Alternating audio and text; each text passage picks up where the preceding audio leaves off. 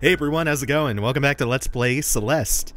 Today we're gonna try something out uh, that's that's a little bit new. We're gonna make our way through the crisp, golden, sun-soaked Chapter 4 with the speedrun uh, speedrun clock running, and that'll give you an idea if I have to skip ahead of how long a screen had me stuck, and also it'll help me gauge what a good episode length will be, hopefully, if this works as intended.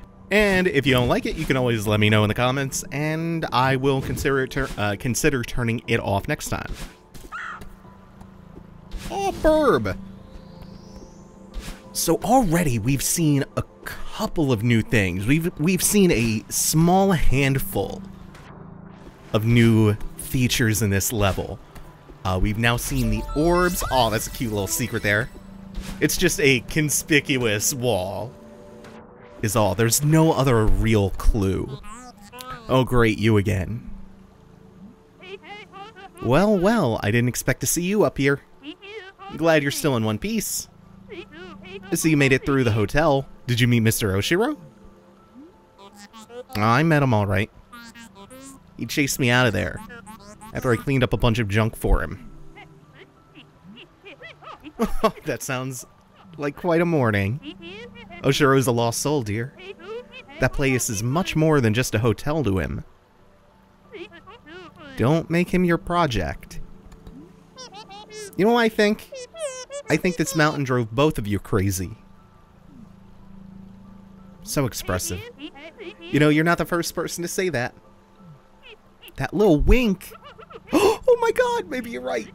Look at how much life and verve and bounce that has. This small little gif, basically. This gif of a portrait.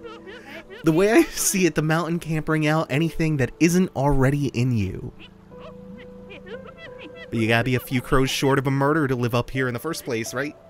That's such a good phrase, too. A few crows short of a murder. What are you even talking about? Oh, I'm just rambling like the old bat I am.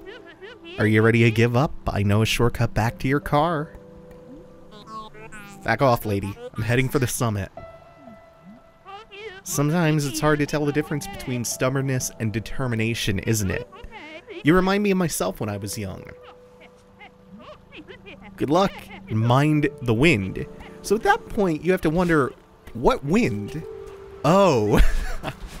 oh, wait, hon. Ah, you see that flag? We have now grounded this in space. And this is yet another new obstacle introduced in Chapter 4. We have about four new mechanics altogether, and we've now seen all of them. Oops. Oh, I saved that. Really good job. These little orbs are fun. It's just you jump into them and release in a direction uh, it'll kick you out automatically after a second up. That's introducing another new wrinkle on this mechanic we were introduced to earlier. Oops. Uh, I have to bounce back. After you come out the other side of an, of an orb, it resets your air dash, which is the one of the most important aspects of that mechanic. Now we have the strong wind. Uh, we have the orbs again. We have the bouncy clouds, which you saw before. Ooh, Oh, I, I couldn't save that at the end. Um, the clouds are color coded. The normal colored clouds are uh, infinite, but the pink ones you saw. Ooh, why was I having such a hard time with that screen? Oh, this is a fun one. The pink ones will dissipate. And then one more loop around. That's just a cute little room. So we have quite a bit going on now. And we're actually not done. There's one more thing in this level, which I think is coming up on one of the next few screens.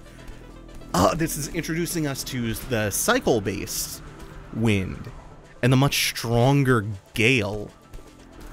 Ooh, I keep just barely missing it. You can see how much resistance it provides. And they do this clever thing where they visually represent the wind so you can see not only which direction it's blowing, but how hard. Uh, so this is likely going to be the first path you see and go down when you enter this screen. And it's totally optional. It looks like progress, but it's actually just one of many, many optional paths. This is that other final mechanic, these blocks that you can get on top of and pilot. Uh, and as we ride it up, we realize something. This is yet another optional route. It shows us where we ultimately want to go, which is to the top here, where you can see the shafts of light. But there's quite a bit going on. There are so many little side paths. You know, I didn't think much of this level, this chapter, my first time through, but it's actually incredibly clever how it eases you into quite a few different mechanics. Four now. Four that are brand new. Not to not even including the ones that we've already learned in the previous chapters. Uh, some of which make a return, but not all. Not yet. They will eventually, though, which is cool. So when we pilot it straight up, we have these two extra paths. There's just, they're all over the place. It honeycombs everywhere. But it also eases you into all these mechanics, and some of them you don't have really much of a, ooh, much of a frame of reference for because they aren't terribly commonplace. So this one, it starts you off with the common stuff mostly, which is mainly the wind. You know, first it shows you the wind is an impediment, and then as a way in which it can propel you. Um, and then, oh, this is fun how you have to pilot this just to get to the right spot. Damn it. It's giving me a harder time than it should because this is really not difficult. I am just being silly. Also does give you a chance to realize that if, oops, caught it on the ledge, if it does get caught for too long, uh, it will explode. And that actually comes into play later. There are puzzles that take advantage of that, but that's, we're getting ahead of ourselves. Also, cute little secret. Damn, I love this level. Um, yeah, some of these mechanics are not things that you have a lot of experience with. I think this might be the cassette room, am I right? Oh no, this is the Crystal Heart room. Uh, we're gonna leave that for now, but note that you can dash through this. Because that is important.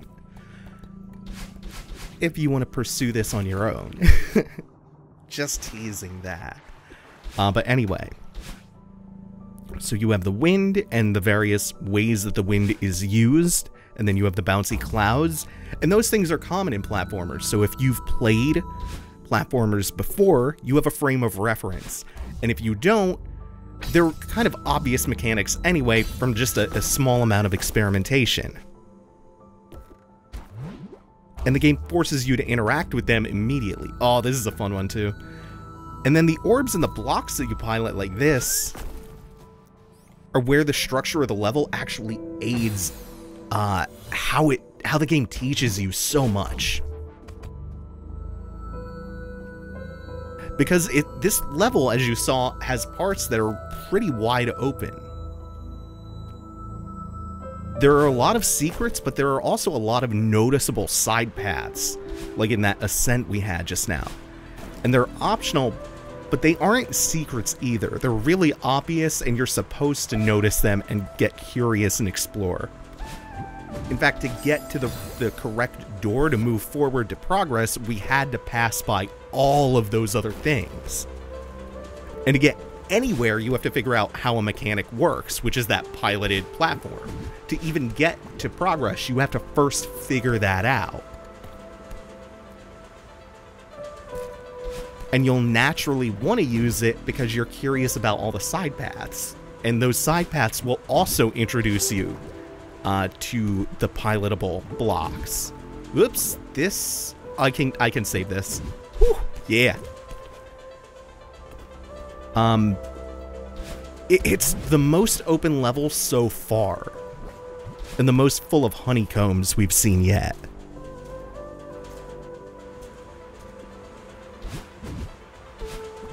Ooh, shit. I also think this level is substantially easier than the previous level, which is a bit funny. It's not a cakewalk, and there are definitely some some screens that will test you. But overall, I don't think it's too bad. And I think that might there's there's a couple of possible reasons for that. I think one of them might be that it is a bit more of a puzzle level, or at least the platforming is more oriented towards uh, puzzles of like figuring out how to use the mechanics rather than um, being like mechanical tests or tests of dexterity and precision necessarily. I think that takes a little bit of a backseat here to just uh, puzzles about or, er, or er, platforming rooms about figuring out how mechanics work together in weird ways. Uh, and a lot of that comes down to like, what are the nuances of these pilotable blocks when you combine them with different things? Like this is this is a super cool room. Uh, it's a kind of a demanding one, but it's so nice because you have to get out ahead of the block uh, for first uh, uh, first to land on a block that you have to uh, destroy by just putting your weight on it, and then the second one you have to get out ahead of the block that you're piloting so that you can hit a key to move something out of the way. And it's hectic and it's cool and it takes a few tries to be like, how am I going to get around all of these obstacles? What am I doing here? What do I need to do and when? Like the process of figuring that room out is is really really fun. God, that one's good. Y'all, I already really loved Celeste. I feel like this is going to be one of those LPs where I walk away and I love it even more for having given it a second go through. God, the initial design of this level is really inventive, but then there's also just how they arrange all these toys together in this big toy box. It's so, so good. They just combine these elements in, in such clever ways, and it makes them appear even more clever because it's novel. It's novel, too. It's a combination of like three or four of these mechanics at a time, these new ones, but also because some of them are, like I said, not so common in platformers. You don't usually get to see rooms constructed around those types of things, let alone these combinations of things. So they have this novel design space to work with, just because they had this cool, inventive foundation to build from. Also, this is the most uh, conspicuous thing ever. Except we can't dash into the wall there, so what can we do here? Why am I getting all these diagonal dashes? Okay, there we go. We just had to reveal that. What is it? What is happening? Why are my fingers being very stupid? Okay. My fingers just did not want to. And that was the best! That was the dumbest! okay, so we go left, up, right, and over for a full circle. We have a full view of the upcoming challenge were we to pursue it for that one single berry. And now we have to really fight the wind. You have to scrape and claw and scratch for like every inch against uh, the, the this zephyr. This gale force wind. Also, this room is cool as hell. It's tricky. It's one of the trickier rooms in uh, this whole level, but damn, it's cool. Right now, what I'm failing at is getting my timing right on the bounce, because that's one of the mechanics of, of the cloud. You have to time the bounce to get the maximum amount of height. You really have to get the momentum right, especially when you're fighting wind like this. So you have to get to the orb in time. You have a very limited window to do this. It's really tight. God, that's fun. And then the wind picks up even further, and now there are snowballs flying at you, and they do that. So that's going to do it for now. Take it easy. Have a good one, everyone. Thanks for watching as well.